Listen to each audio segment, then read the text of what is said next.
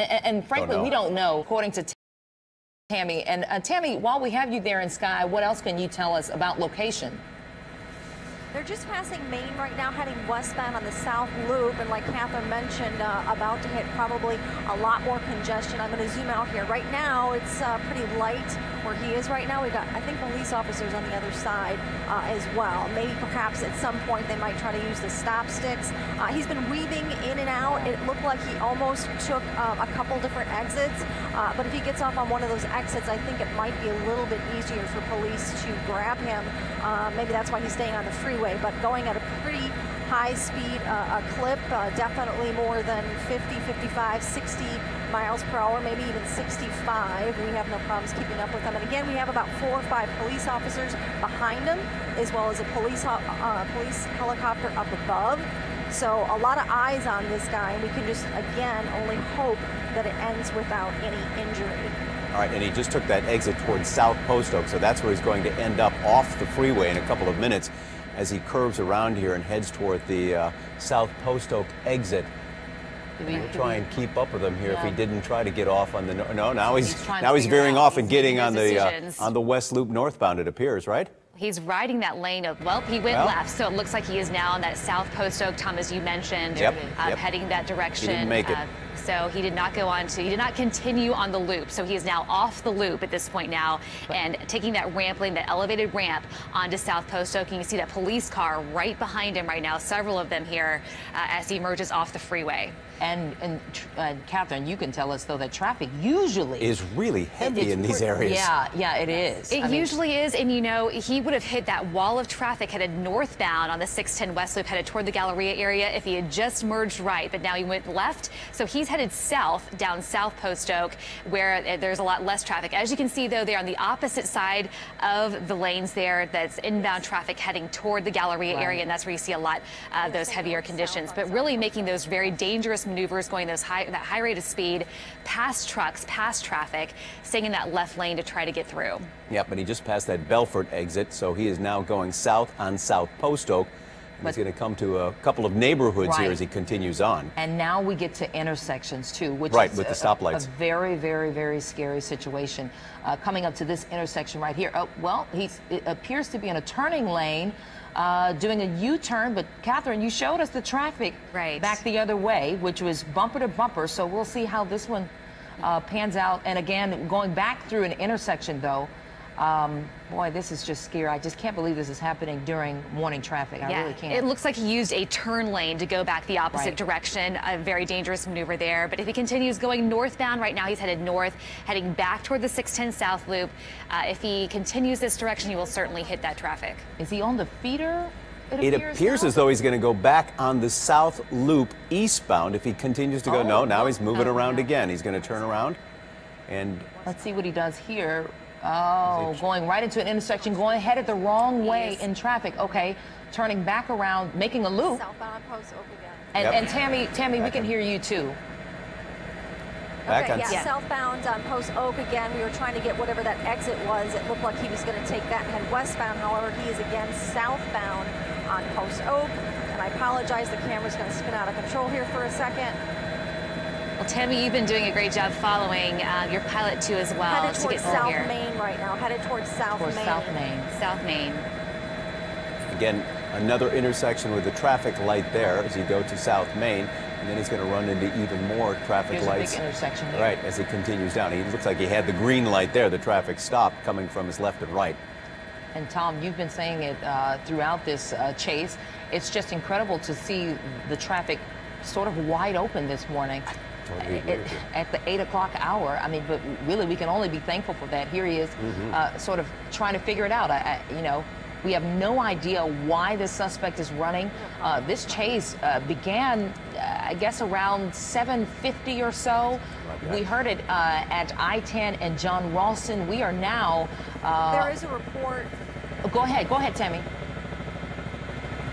I'm sorry. Uh, yeah, it looks like he might be slowing down a little Mm-hmm. bit. We're in contact with the police helicopter here. We have a little bit more information that we're not going to pass uh, along to you right now, but it did look like he was weebeling a little bit. Mm-hmm. Um, I don't know if it's a tire, but it does look like. Let me zoom out just for a second to see if it looks like he might be slowing down a little bit. Um, it was wobbling.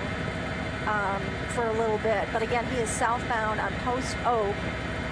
We'll try to get you another exit here, but it does look like uh, he's driving a little bit differently right now. He's not weaving in and out of traffic right now. So I don't know if there's some car issues or something else going on. Coming Certainly up on just past Gasmer. That, yep, you're right. Not going nearly as fast as he was, so there's a possibility there that they may be dealing with some car issues. So for those of you who are just now joining us and maybe you are riding in the car and listening to us on our ABC 13 app, you should be aware that there's a police chase going on. Uh, and Tammy and Catherine Whaley are covering it as well and can give you uh, exact locations where we are right now. crossing South Main on South on South Post Oak, I believe right now. Just went under and South again, Main. it does look like he has slowed down a little bit. Again, we don't know if it is car issues or whatever, but the driving is a little bit less erratic. Uh, and again, we still have four or five police officers behind him. We have two police helicopters Brake up lights. above. Brake lights here. And again, he is heading in the opposite direction now, northbound on Post Oak. Yeah, and it looks as though the left rear tire may be going flat. Uh, and you see him Wearing a baseball, a white cap. baseball cap, uh, looking down. It appears. I don't know if he's looking at a phone or, or what's going on there, but looking down and, and driving. Is he picking up speed there, Tammy?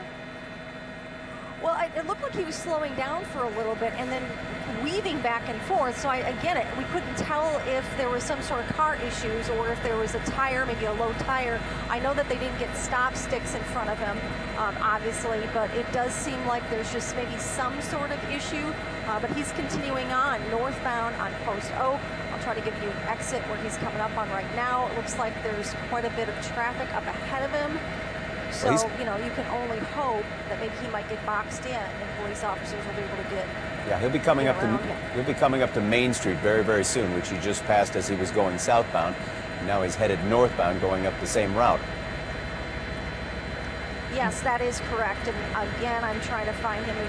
You got him. He kind of blends in occasionally with all the other traffic, but we still have the police officers behind There he him. is. There he is, right there in right the there. center. Right there near the white van, passing the white van now. He's uh, towards the back of the. There you are, right, there, yeah, right to the there. left.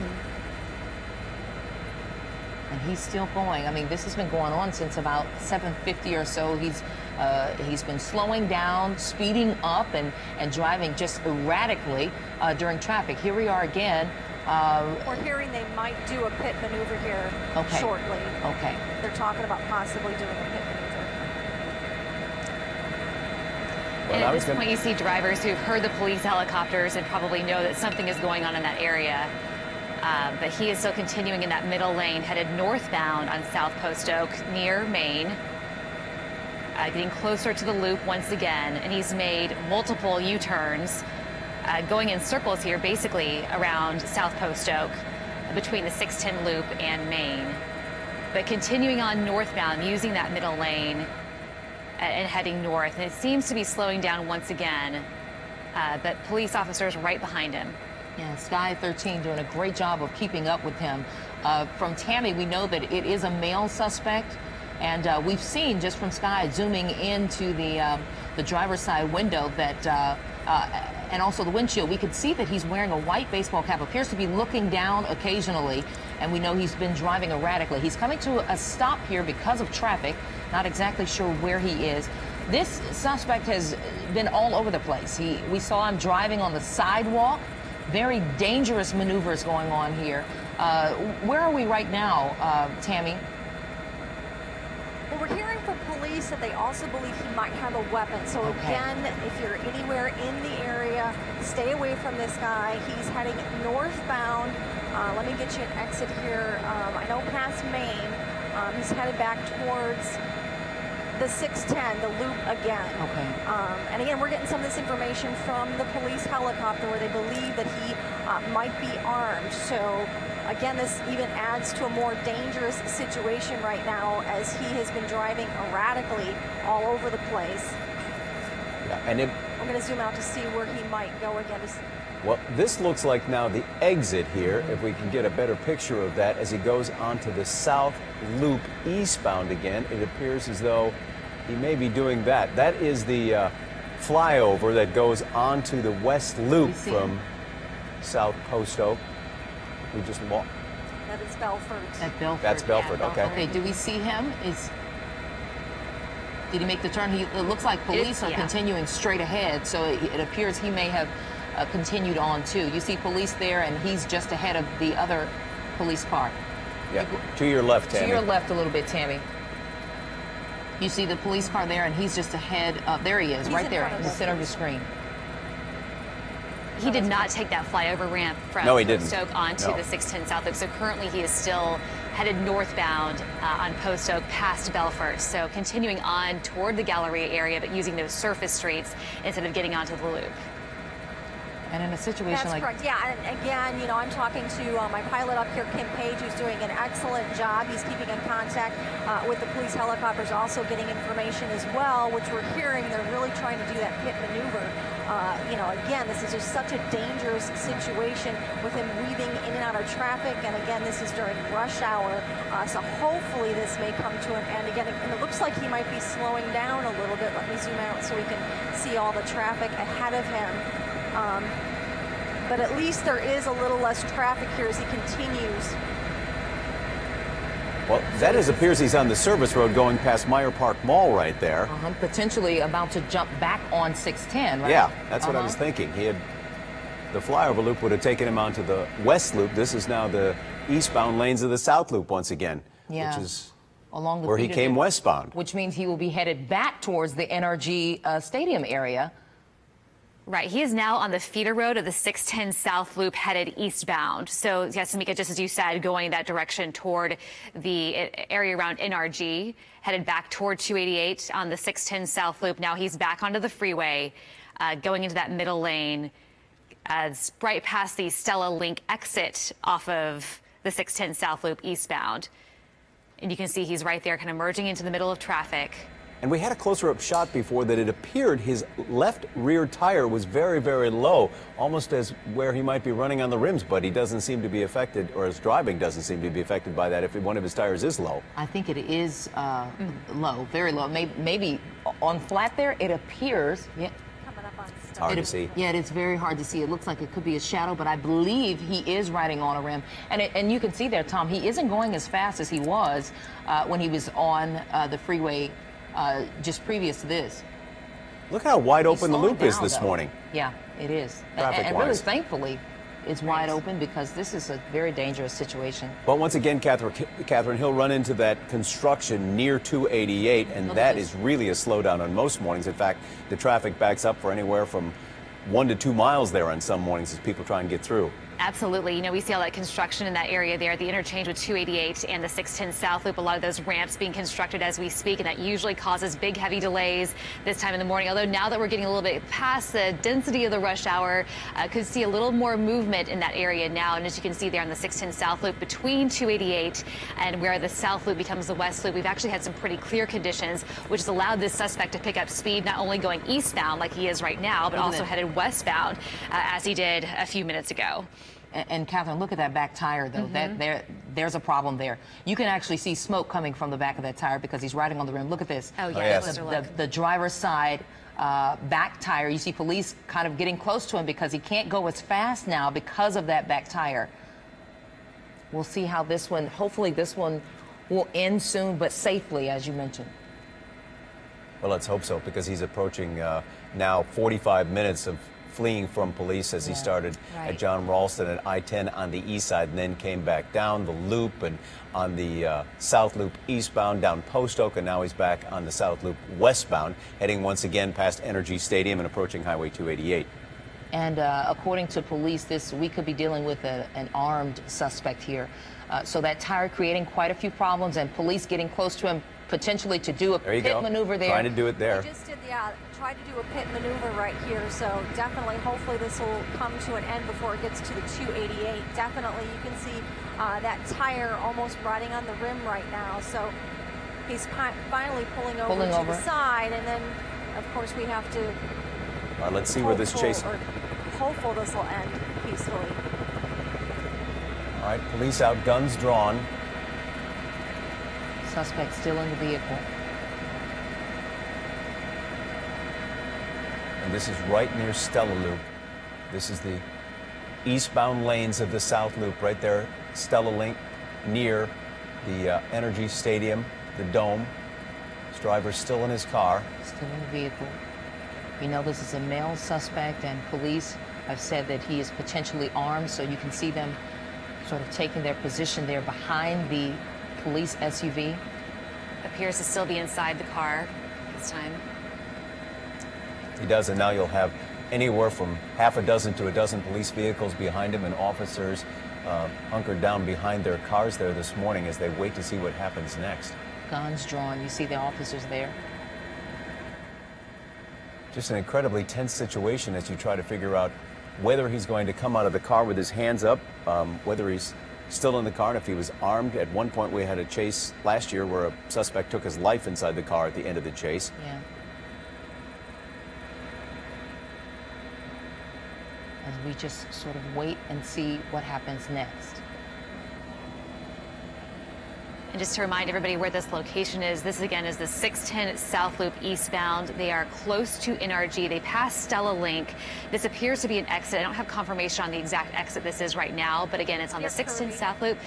Uh, it sounds like near Kirby. Tammy, thank you for that. So near Kirby. So that's right there by NRG, you know, just a couple days after the rodeo has shut down. Uh, right there, we see a lot of traffic this time in the morning. So at this point, the 610 South Loop eastbound is completely blocked off. Uh, well, we're, we're waiting to see is how this how this Traffic unfolds. starting to back up a little bit The freeway is closed, uh, as Tammy is saying. And- Any, and- any more chatter, Tammy, from the Houston Police Department helicopter? You know, I am actually zooming in here on the front of the car. I can't tell if that actually is a bullet hole or not. Um, Oh, yes. there hasn't, I I don't see any movement inside the vehicle. And again, the freeway is shut down. 610 South Loop at Kirby. Uh, no, Oh, it looks no. like he might be getting out. Looks like he might be getting out. Yep. There's some movement. Now he closed the door. Yep. I was going to say earlier. You just hold your breath at the end of these. You just never know how they're going to Mm-hmm. end up. I, I was going to say earlier, Tammy, that we were starting to see some movement there in the front, towards the front windshield. I couldn't tell if it was hands or, or here, here's a, a lot of movement going on here. It seems to be checking his pockets. Yep. Uh, still wearing that white baseball cap, looking Yep. around, not sure what he's looking for. Uh, very tense moments here. Police uh, set up behind him, guns drawn. We saw the door. He has something in his Something in hand his there. hand. Like it- he's checking his pockets. It, it appears. like it's a Cell phone. A cell phone. that is plugged in. But Okay. I did see him, you know, put something in his jacket. It looked like so. Um, you know, you never know in this situation. You don't know if he's just contemplating whether he's going to get out or not. But the yeah, door's looks opening. Like he might be getting out of the door. But again, you know, police don't know how this is going to end. He looks like he's starting up his the vehicle again. He does. And he's driving Yes, off he Driving off. with his cell phone and his hands again. out the window. Yes, and his cell phone. It looked like maybe he. Uh,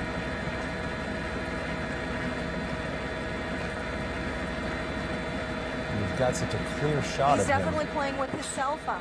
Cell phone, or it appears to be a cell phone, and checking pockets. And he opened the door, closed the door back, and started sort of searching around.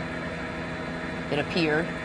Looks like, as you mentioned, Tammy, that he has a cell phone, but it appears to be plugged in uh, to something there. We Uh, saw a cord. We saw a cord. Right. I mean, it looks like it looks like he might be texting, um, and it looks like it's a phone. Obviously, we're you know not 100% sure, but we did see that phone cord um, look like he was plugging it in. And right now, it just appears that he is well, he has his hands up. hands now. out the window, showing his cell phone, showing his cell phone out the window. Appears to hands be what he's doing right there. We don't know if he's on the phone with someone now or And usually in these situations, if you've been at the end of these, police are yelling, get out of the car with your hands up, get out of the car and on the ground. And they're right on top of him. Look at all the officers with guns drawn. because remember, tense moments here. right? Remember, police were saying uh, that they didn't know if this suspect was armed uh, you know, during throughout this uh, chase. So they are taking a stance, and you see them with their guns drawn. This has just been You just have to wonder why he's not getting out of the car. If he's calling someone and talking to them,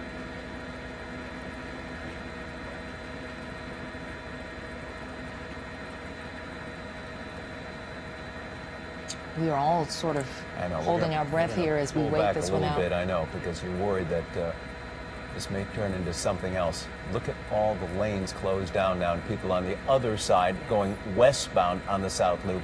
Obviously, the rubbernecking going on. People going, "What in the world?" Because they can see that it's the end of a police chase or a police activity right there. You see This the is the police South Loop near Kirby. They pre- they're preparing the police dog have as a well. Mm-hmm. police dog uh, that is inching up towards the car as well, along with all the police officers with their guns drawn. All right, let's see if they let the dog do its work. We also look like we have somebody that's possibly uh, a SWAT team SWAT. member with a rifle.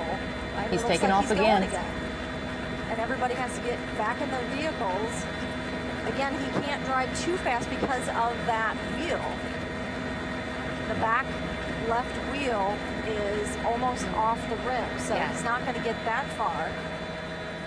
That left, back left tire is just peeling off right now as he tries to, to go again. He's not going to go very far on that kind of uh, damaged wheel. Boy, I tell you, these are heart-pounding moments. I, I, you- you can only imagine. the officers for right the there, too. officers, you can only imagine what's what's going on in these police units, what they are saying, what you know, what they're thinking, uh, the things that they have to be aware of. Potentially an armed suspect. We know he's been moving around a lot in the car because we can see that he's been checking what appears to be his pockets and maybe pocket. Look, the door's opening again here, so we don't know if he's about to jump out or Yep. what's happening. He's driving along with the door open. Yep. A few moments ago, he stuck both hands out of the car with a cell phone Yep. there. We just don't know what's about to happen here. So he's right in front of the NRG Stadium. I'm zoom out here so you can kind of get a better look at things. The freeway again is shut down eastbound on the South Loop, causing traffic and delays on the other side, obviously. Sure. People can see what's going on on the other side of the freeway. And again, he's just inching along because of that tire that's about to And frankly, we hope people on the other side will, will not look, but will actually get out of the way of all this because we just have no idea what's about to happen here. That's the Dome footbridge that leads from the uh, NRG Park area just south of the Dome and NRG Stadium across the 610 loop. As you watch the end, we hope, of this police chase that began about almost 45, maybe 50 minutes ago on the east side of Houston, then wound its way down the east loop to the south loop, and then back again eastbound on the South Loop, where you're now watching it at slow speed. This is the guy who sat in his car, had his door open, as Samik said, looked like he had his phone out his window, but he's obviously reaching for something with his right hand as he continues to Here's open the the door door with again, his left Tom. hand. Here's the door. The door is wide. Uh, it's a little wider than we've seen. All right. Uh, he'd been just sort of cracking the door open. Yeah. Okay, he closed the door again.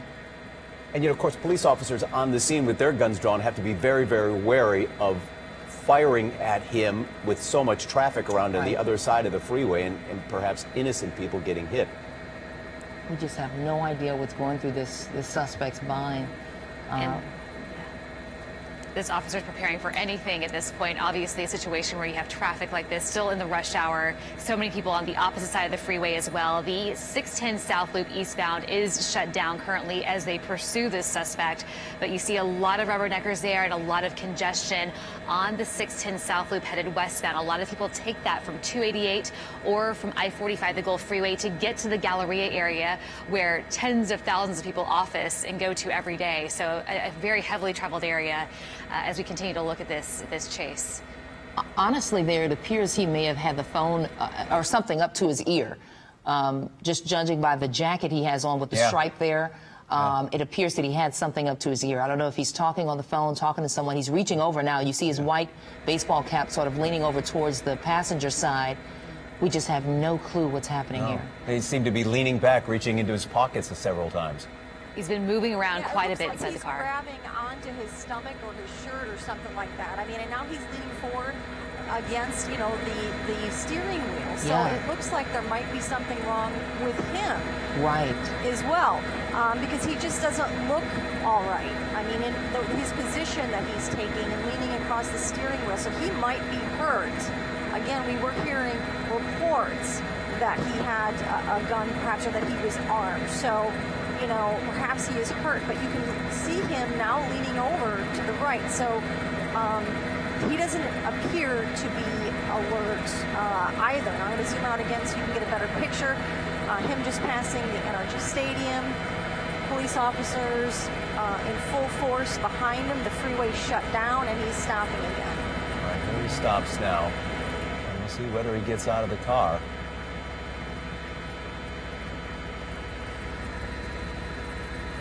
Just so strange and so Here's tense door at these moments yet as the door opens. and closes again. This is probably the, the fifth time uh, that the door has opened and closed, and, and maybe the fourth time that he stopped. And now police again out, guns drawn, Right. and he takes off yet again. Again. We've had so many strange twists and turns in police chases over the years here as we've watched them unfold Door on live wide open TV. now, Tom. Right. Um, we had a woman last year who actually called the station Right. as she was leading police on a chase. We've had people call their moms saying, "What should I do?" Um, so we don't know exactly what he's doing at this hour, though it did appear he was talking on a cell phone and digging in his pockets and digging elsewhere in the car, maybe the glove compartment for something. See that baseball cap again, that white baseball cap. And Tammy, you, you, You may got be, a clear shot of him, Tammy. yeah. Yeah, uh, you know, again, it's very difficult to watch these. I have covered so many high-speed chases, and you know, again, you just hold your breath until they get him into custody, and you know, this just makes you nervous. I mean, he is driving slow right now. We don't know if there's something wrong. Uh, you know, if he's on something or hurt or something, you know, he stops and then he opens up the door, gets back in. Uh, you know, obviously not ready to listen to officer commands. So, you know, this makes me very nervous like this. Um, you know, it's good at least they have the freeway shut down at this point. Um, you know, you'd rather be have a bunch of people late to work uh, than any more um, problems. You know, we're going to zoom out here a little bit. You know, the freeway on the other side is slow as well. Um, and again, I, he's not going to get very far. So Pulling over to the again, shoulder. he's pulled over. And you have a police motorcycle officer on the other side of the freeway coming against the traffic, uh, maybe wondering if he's going to jump over that retaining wall and try and run across the freeway. I'm sure they don't exactly know exactly, they don't know where he's going to go or what he's going to do. You never know what leads people to do this, Sure. which makes you question what they're going to be doing next. So they're trying to be prepared as they possibly can be, and of course to protect any of the drivers who are in this area right now. This There is, is- taking an interesting turn here. And now Um, he's turning around towards officers. towards the officers. Um, This is all possibly going to come to an end right now. I mean, he is facing officers right now. He is a threat. The vehicle is a threat. You know, he's facing towards officers right now.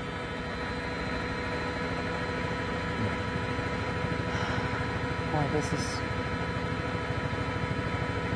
And now he's turning back around again.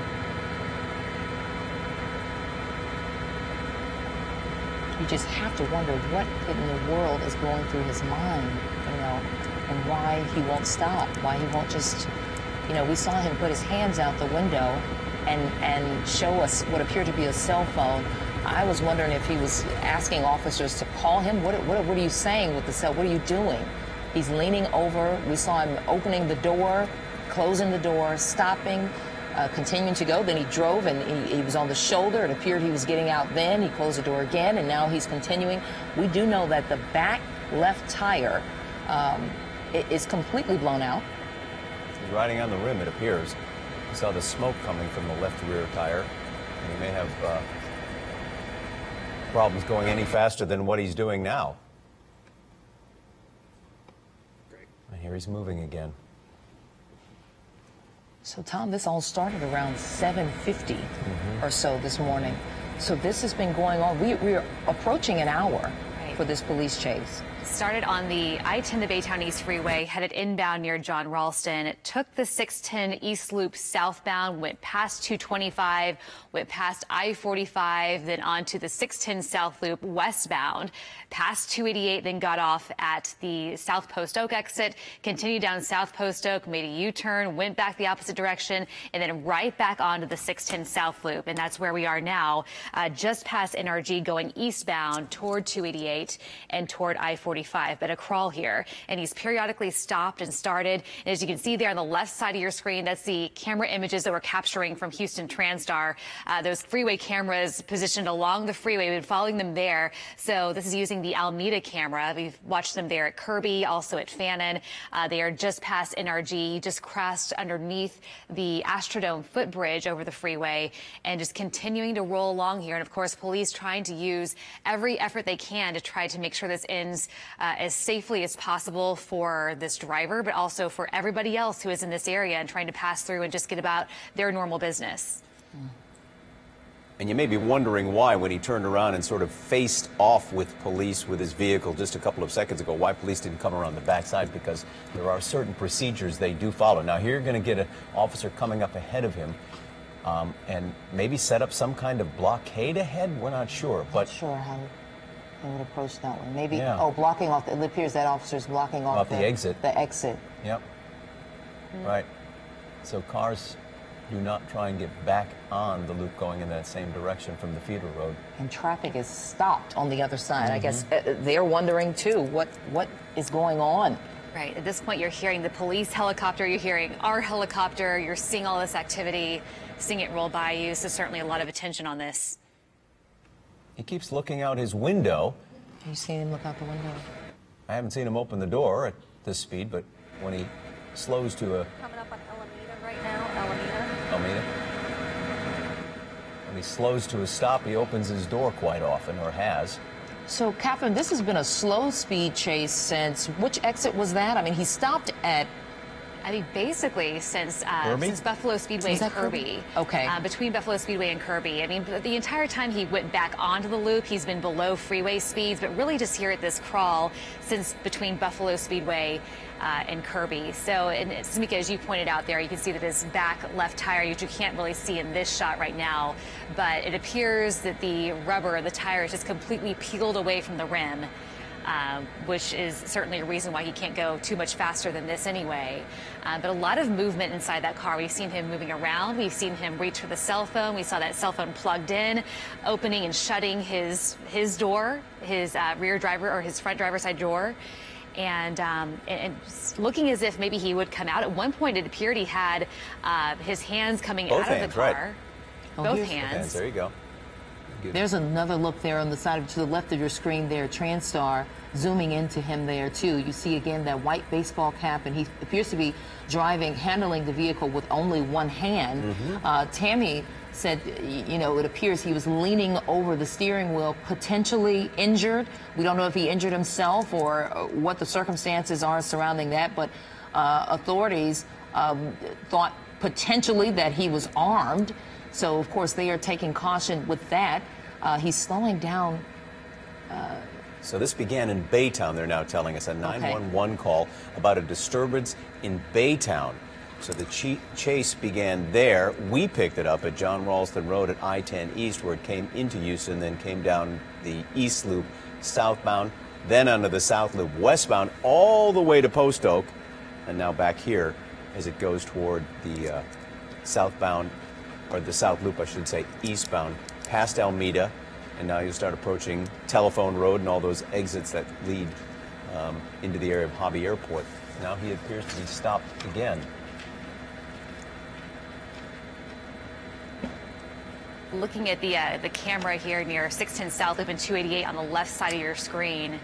Uh, that's from TranStar, so you can see the all that traffic there in the westbound direction, uh, just backed up because of rubbernecking. We also saw a motorcycle officer on the shoulder lane of the 610 South Loop westbound, of course, trying to just make sure that tr- the traffic there is, is safe and those drivers are safe there, headed the opposite direction, going westbound toward the Galleria area.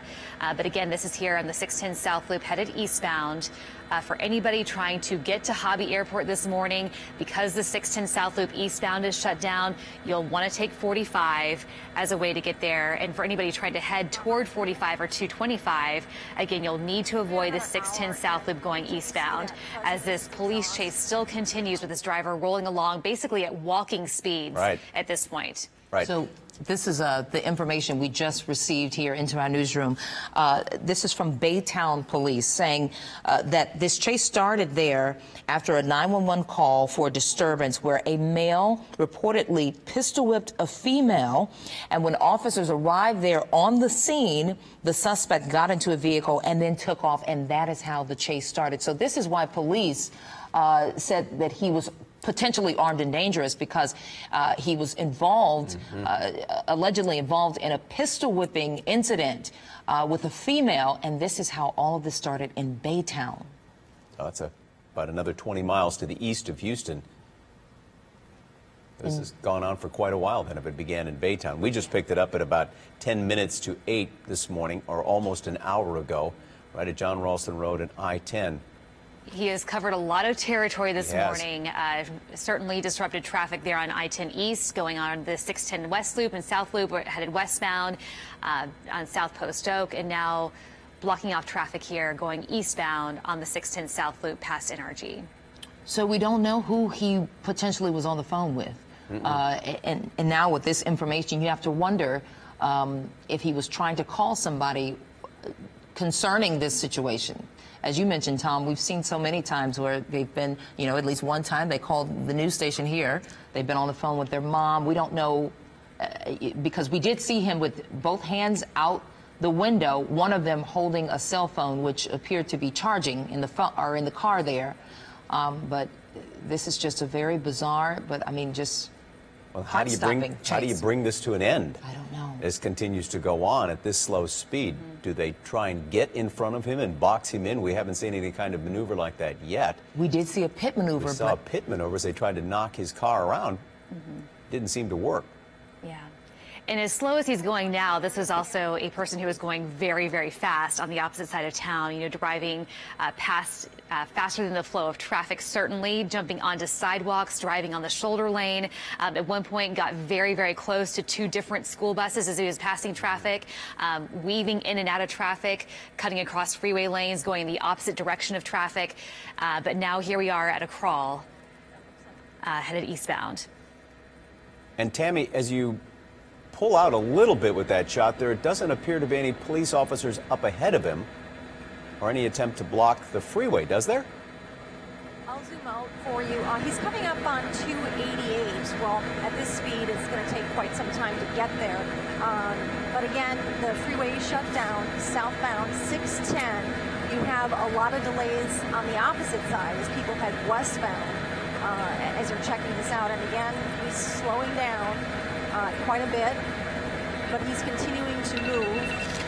The back tire, uh, the rim, or the tire is about to fall off the rim, so that's why he's going slow there. Um, we are communicating with the police helicopter to, you know, give them information about what I'm seeing up here.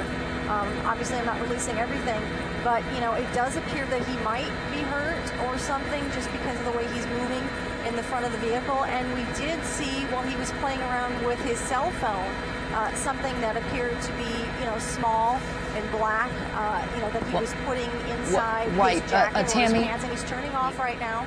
Yeah, he's going around that uh, DPS car because. And did you see there was uh, one officer who put out spike strips? Yeah, I did see that. And that is why he took the exit, going around that DPS uh, SUV. Uh, speeding up a bit, by the way. So we did see uh, that there was uh, an officer ahead And of this, this is the chase. ramp to 288 North that he took, the ramp to 288 North. But that is why uh, police officers are being very careful at this point uh, because of the reports, like they mentioned, that he had pistol whipped someone.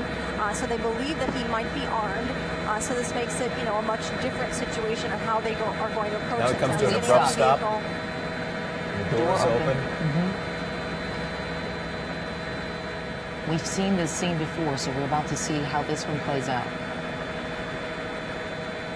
At least keeping their distance this time. They got a little bit closer to him last time when he came to a complete stop. We have a sharpshooter on the left side.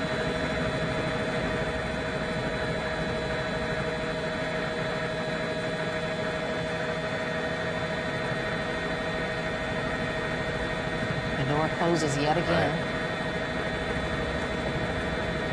Did have a police dog out before. It takes off again at slow speed.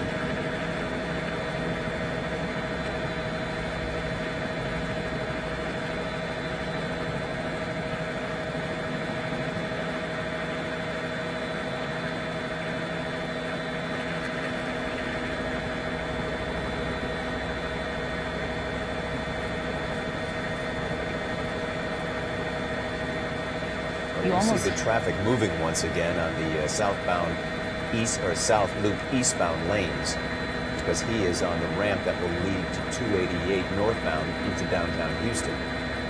That ramp appears to be shut down. Um, uh, police must have gotten ahead of him uh, because there are no cars at all on the ramp. Or you could you almost watch this in silence because you just have no idea what's about to happen with this suspect starting and stopping. And in case you were just now joining us, this police chase started now more than an hour ago in Baytown. Baytown police saying that they were called out to a, a location there, 911 call for disturbance where a male uh, had reportedly pistol whipped a female. And when officers arrived, that suspect jumped into this uh, gray Ford SUV and started this chase this chase has really, I mean, gone across uh, the city with it now along the This is 288, 288 the northbound ramp from the south loop to 288 northbound, or it goes on to 288 from here and then into downtown Houston. To the left of those new ramps they're building, but this will lead him right into downtown Houston if he would continue going on here. he's pulling over again. Oh. Um, let's see if it, And right next to the gate there, of the, uh, the railing, okay, the door's opening yet again. Let's see what happens here. yes.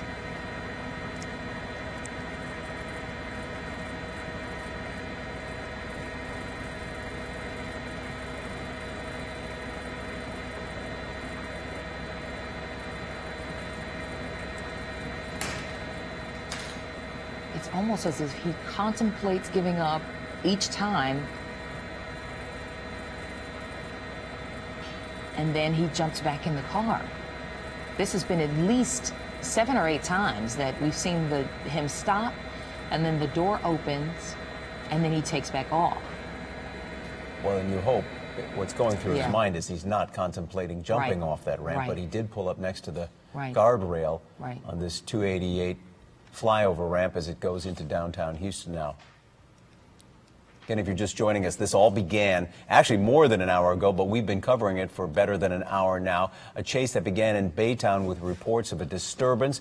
A man said to be pistol whipping a woman.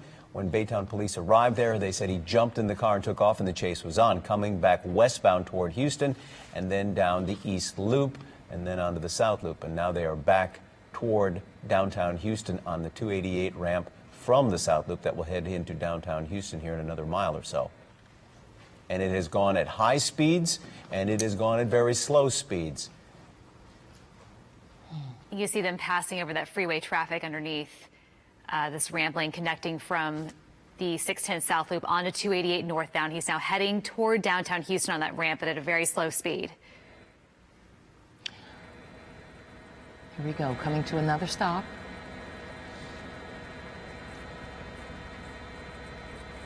And going again. And Tom, you mentioned something saying police are staying a little farther back. Um, they were a little closer to him earlier, but he's done the start stop so much until I guess they want to make sure before they jump out of the vehicle again.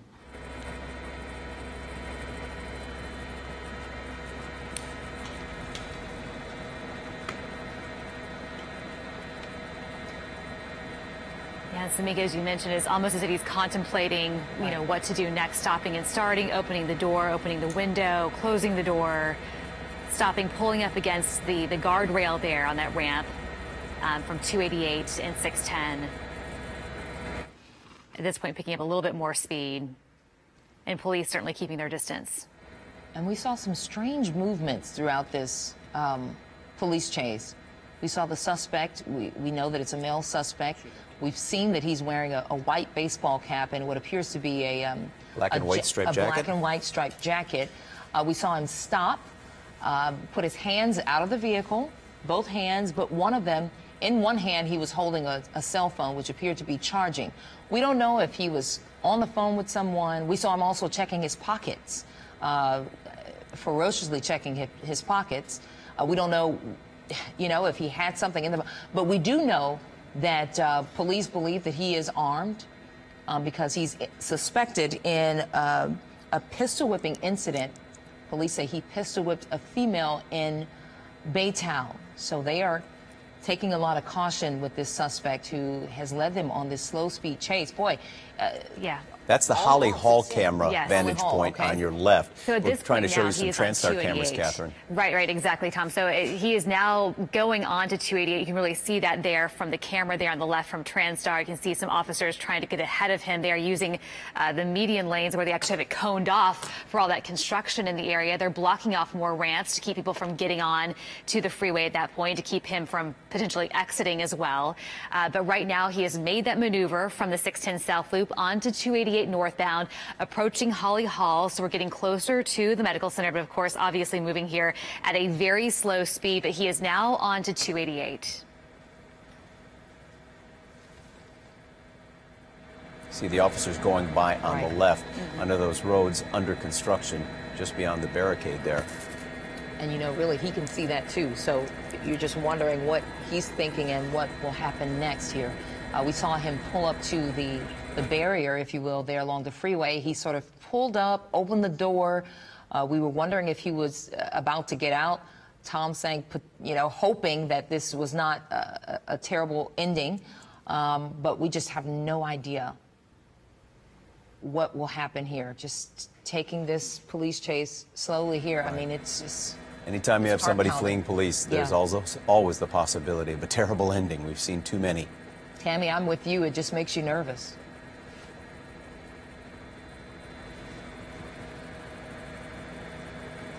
Our, uh, Tammy is in. He's Uh, coming up to the bridge right now on Holly Hall.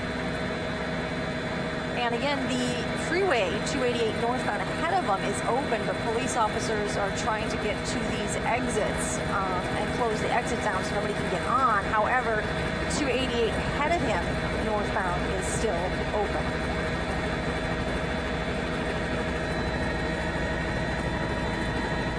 All right, let's see where he goes next. At this speed, Catherine, it's a long way into downtown Houston, even up to the medical center. That's a couple of miles from there. It is. It is quite a while, but you know, police officers now trying to determine how to make sure the public is protected with this going on right now, and closing those entrance ramps onto 288, closing uh, exits potentially as well to keep him from exiting the freeway there. Um, and at this point, they are just trying to work to make sure they can get, keep the situation under control and protect drivers. So many of them using 288 to access downtown Houston and the medical center. it appears that people along the feeder there are standing outside their cars, um, just Right. sort of watching to see what's going on here. That may actually be a, a, a dangerous thing to do right now because we just we have no idea um, what this suspect is thinking or what, what he has there in the, the vehicle. And if you're just joining us, almost 20 minutes ago, he came to a complete stop on the South Loop, the eastbound lanes of the South Loop. It appeared as though he had his hands out of the car ready to surrender. They had a police dog ready to take him down. There you see a couple of people watching from nearby, wondering what in the world is going on. They've got a very, very clear view of that suspect. So he It looked like they were going to block off the um, ramp at the end of this, uh, one of the ramps, but uh, then they moved. Okay, well, he's come so to it us. appears that they're just staying behind him. Is how they're proceeding. Is they're staying behind him and they're just blocking off exits so nobody else can get on the freeway. going under the uh, overpass there. That's the Holly Hall Bridge. Did he stop there under the bridge? Looks like he stopped. We, Yes, we- he's now stopped Mm-hmm. underneath the bridge right now. We can also see TranStar as well as Sky. Oh, yeah. He just stops, so it makes it a little bit more difficult to see what's going on.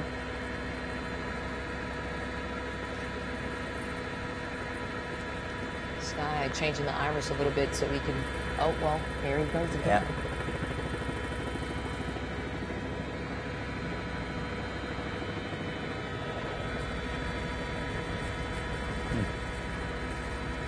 This has now gone on for, I mean, well over an hour. Yes.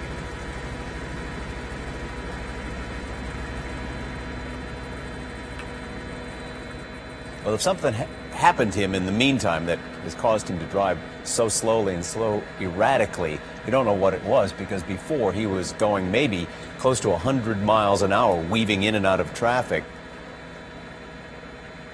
trying to put police far behind him, but they were managing to keep up with him. Now, this is just at maybe 5 miles an hour, 10 miles an hour as he makes his way up 288 toward downtown Houston, really toward the medical center first. And it's mainly because of that back tire, that back left tire. I mean, he's riding on the rim there. Uh, as Catherine described it, the, the rubber is peeling off the tire. Looks like he may be coming to another. He's speeding up there. The next exit will be Yellowstone on 288 North. I, am going to tell you, uh, Tammy, he looks pretty relaxed now. It, it looks like his uh, arm is on the console, the right arm.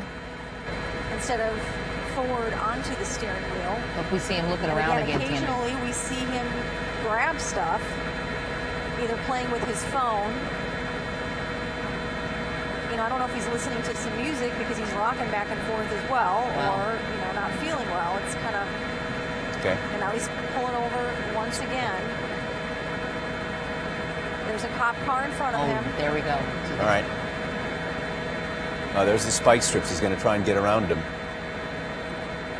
Actually, yeah, the spike strips were behind him, so Not a behind. Again, they're proceeding with caution. You know, this is a different scenario when you think somebody is armed. You know, they're staying behind him, back of him. When he does stop, they get the sharpshooters out and stuff and, and the dogs, but they're not getting in front of him.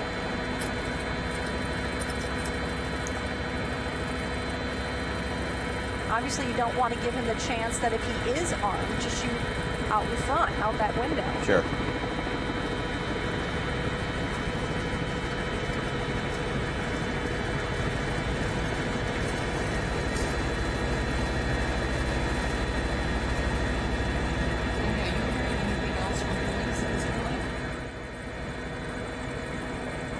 The only information that we have right now is just that they believe that he's possibly armed, and you know they're proceeding with caution.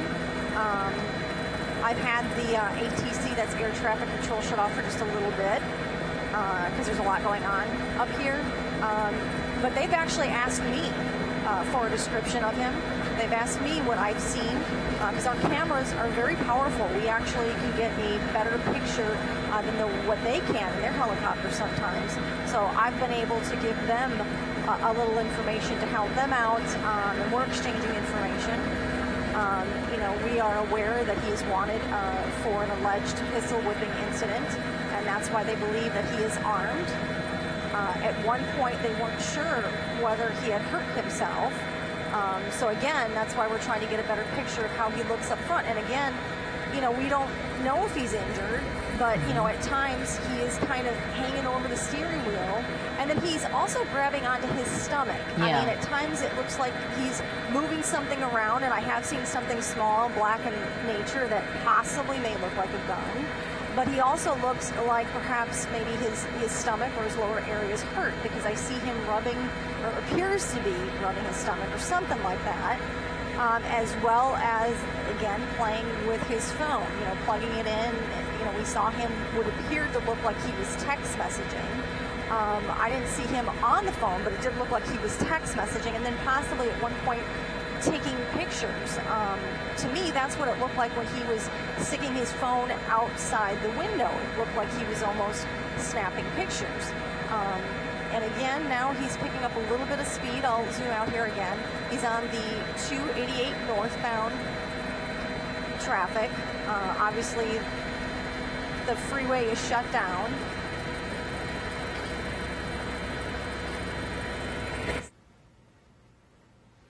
He's he's coming up on OST.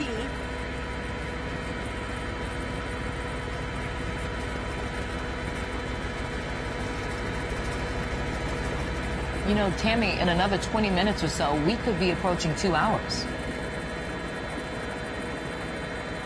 From when the chase began in Baytown, right? Right.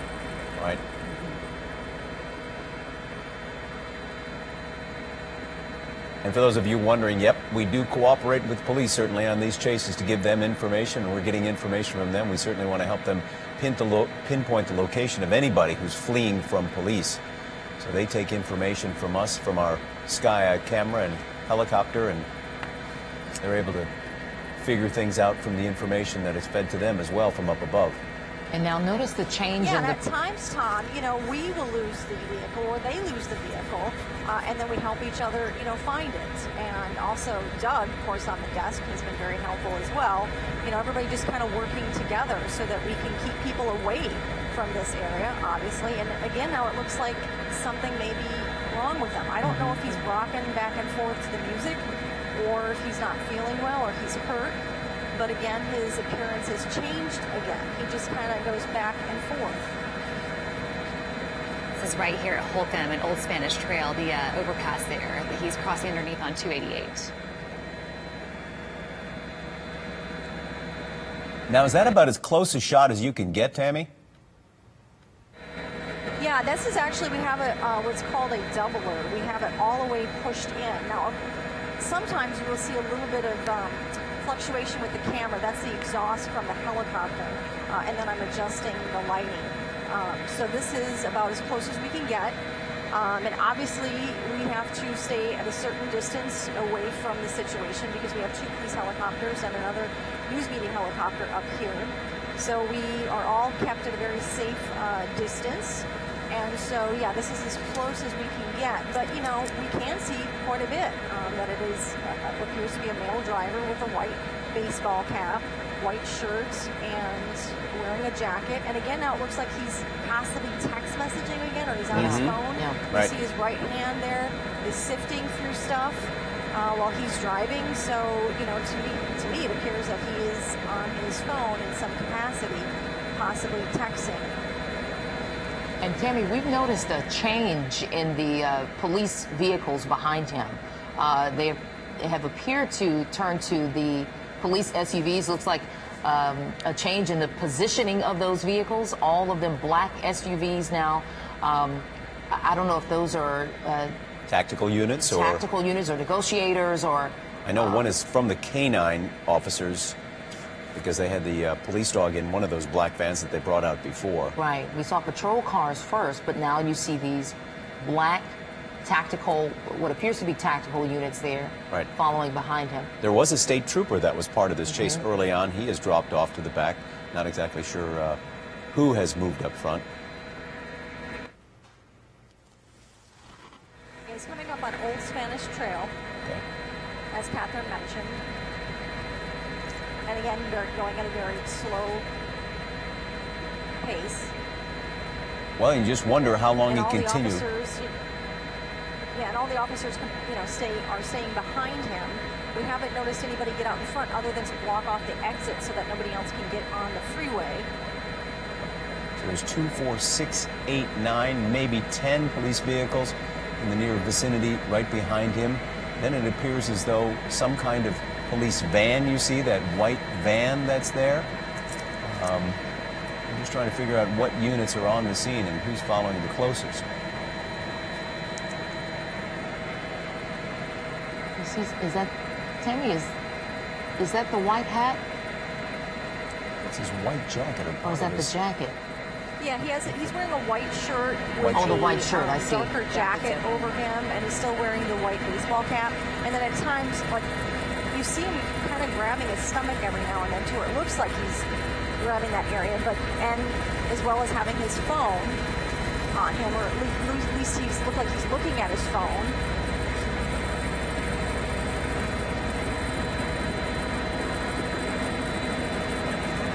And is this the old Spanish Trail crossover? That is correct, Tom. This is the old Spanish Trail bridge that he's going under.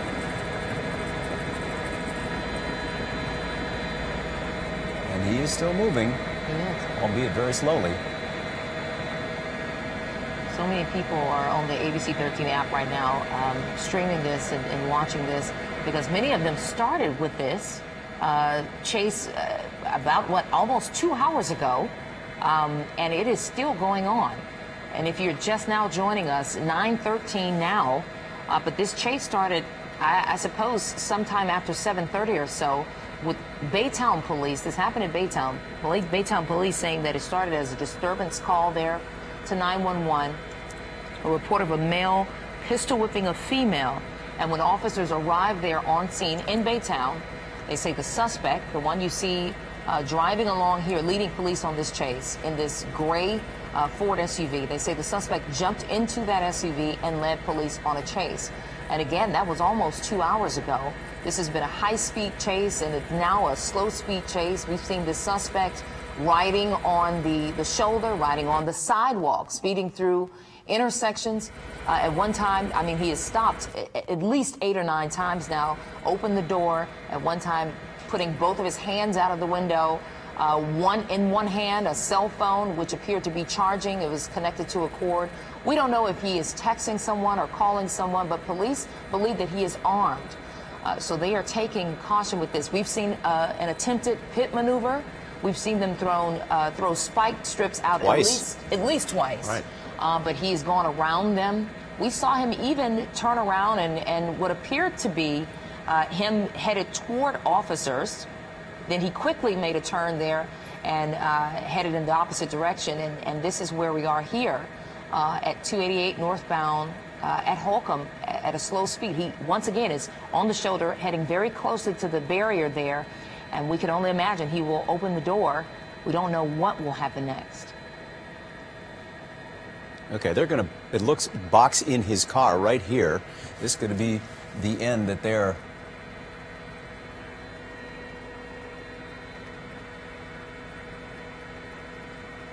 Police officers around there. Police dog. Yep. Sharpshooter. Officers taking their stance. Suspect still in the car with the door closed. And he's got nowhere to go now. Yeah.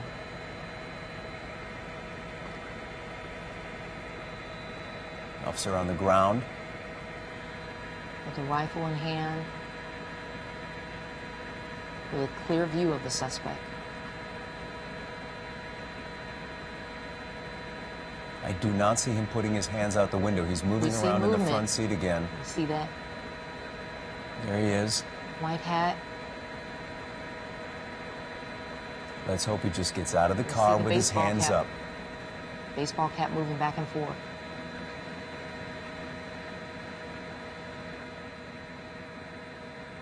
North of Old Spanish Trail. Or Holcombe, sorry. Holcombe, Holcombe yes. There's the baseball cap moving back and forth again. We don't know if he's injured. Another police vehicle pushing in.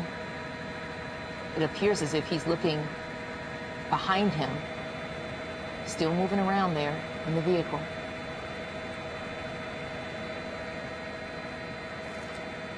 It's hard to see whether he's still talking on the phone, whether he has that phone in his hand.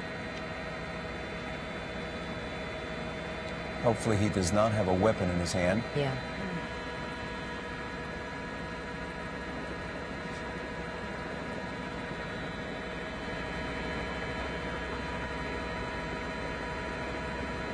These are SWAT vehicles that are now surrounding him.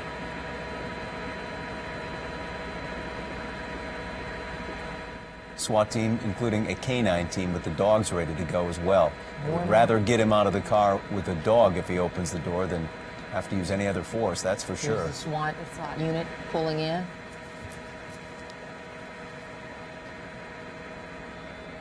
We can still see that baseball cap moving around there in the car on the driver's side. We don't know if he's talking to officers or yeah. if he's still on that cell phone. Well, if you've ever been on the end of one of these chases, you know they're yelling, get out of the car, right. get your hands up, get down on the ground. And they continue yelling it until they maybe can talk to him and make some sense out of the situation as to why he stays in the car.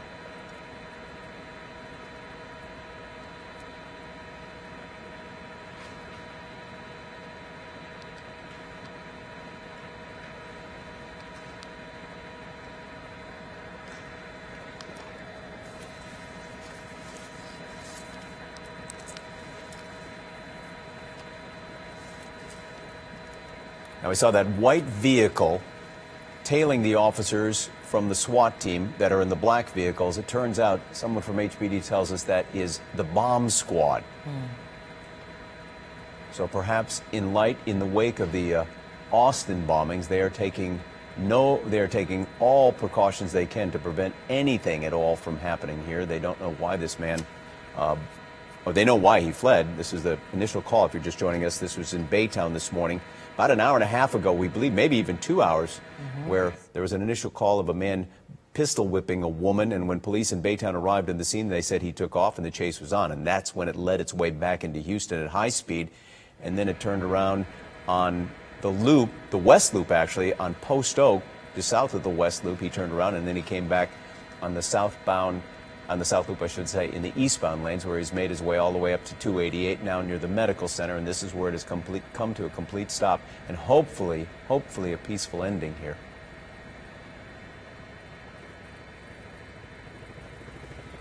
The question is, what do you do next to get him out of the car? Right. Mm. Well, you see officers are pushed all the way up to that vehicle. You don't see the door open, but the suspect is still moving around there in the driver's seat. Uh, it appeared that he was looking behind him, maybe to sort of see, uh, you know, all of the police presence uh, behind him and around him. I mean, sh- sharpshooters, police dogs, the SWAT vehicles. We can only imagine, Tom, as you mentioned, that they are talking to him and trying to get him out of the car and, and try to have a, a peaceful ending here. And certainly we're hoping for the same thing here. These officers have protocol and training for exactly what to do in situations like this, and this is when they really do put it to the test and and see what happens. But this driver's behavior has been just so erratic from the very beginning. It's been very difficult to tell what he may or may not do next. And for those of you that wonder, what do police officers do in a situation like this? They put their lives on the line right there. This is, mm-hmm. yeah, Wow. now he's okay, taking now off he's again. taking off. He's taking off. wow. We don't know what happened here and what led to this. You see the back tire there. He's going around officers. You see firefighters there on scene as well. Just so that strange. back tire out, Yep. and yet again he is taking off. You saw the police officers with their uh, rifles running to get into their vehicles. There's another Oh, SWAT vehicle. SWAT car. He's going around the SWAT vehicle. This is just incredible. They moved the car and then he ducked around them. You have we have no idea what's being said there on the scene. What you know, we don't know if he told them he was about to get out of the car and why they moved that vehicle. But you see, he is yet again on the move. It's almost as if he faked them out in a way. So Yet strange. again on the move there. Mm-hmm. But I would think now you're going to have them boxing him off again. Yeah. And maybe Again, another pit 288. maneuver. Yeah. As soon as they can get up to the side of him or ahead of him. You actually saw some of these uh, construction workers there who were on 288 stopping what they were doing. This suspect here weaving because we know that tire. He's Mm-hmm. riding on a rim. Is he exiting the freeway here, Catherine? This he is still on the freeway? 288, and this has to be McGregor. McGregor. Exiting now. McGregor. Okay. Okay. All right, and they we just boxed him in just there. boxed him. He's turning There's- around. He's got nowhere to go Nowhere here. to go. Got nowhere to go. and he Pretty clear shot there. He's got his hands up. Hands up. Appear to be up. It does appear. He's going to have to get his Although hands. he just touched the steering. wheel, Yeah, he's so- going to have to get his hands up and out. out. opening the door. Closing the And he door. closed it.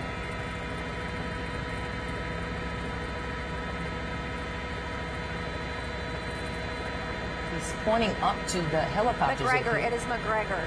This is the McGregor exit off 288 northbound. rolled the window down and now appears to be putting his hands out the window. Yeah, But we've seen this before. right. Don't know if he's injured or emotional. We're just not sure what's going on here.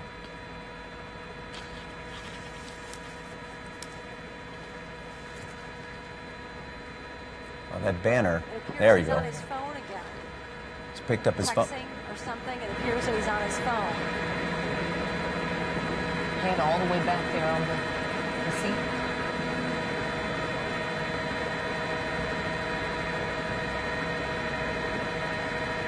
panting and breathing very hard. We, we just don't know what's happening.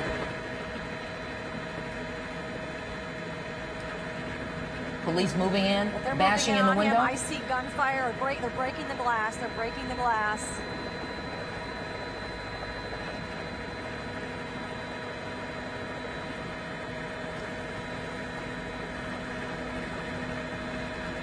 Police are giving him instructions, but you saw him try to run out of the vehicle. And now now they're they're putting pulling the him out. dog in. They're letting the dog in. There they go. There he goes. They have him on the ground. Wow. Finally in custody.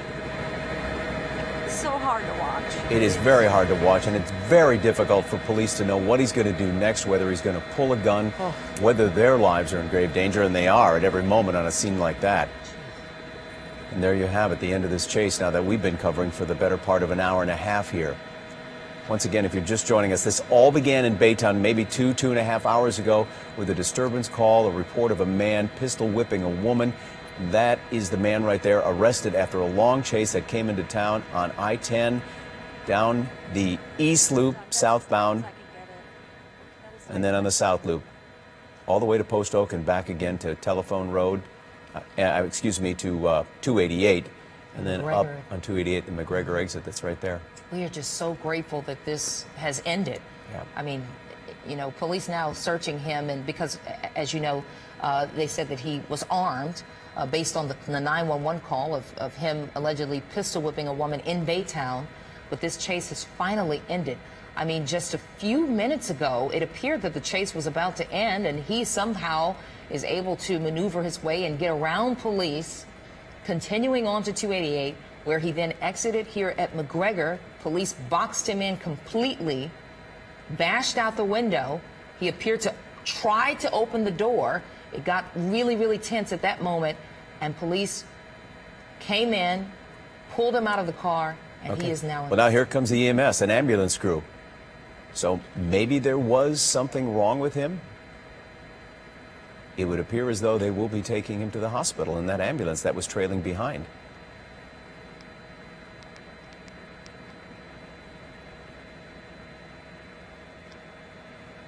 Usually at the end of these chases, you see them put him in the back of a squad car. He'll be departing in an ambulance, I think.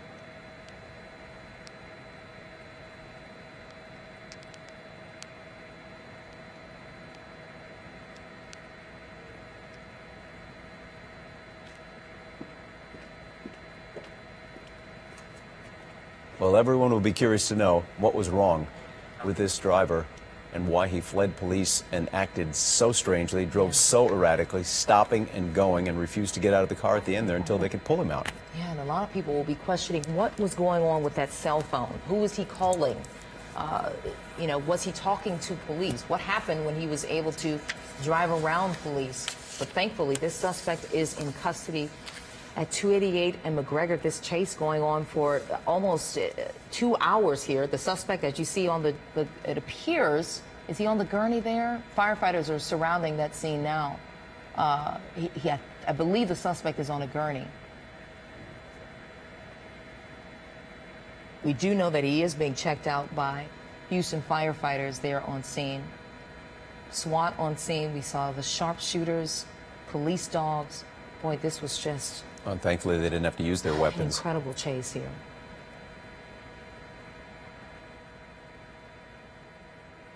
You know, what started out as a, a high speed chase ended uh, over the last 45 minutes as a slow speed chase. Barely moving along and Barely, stopping just at barely. many points.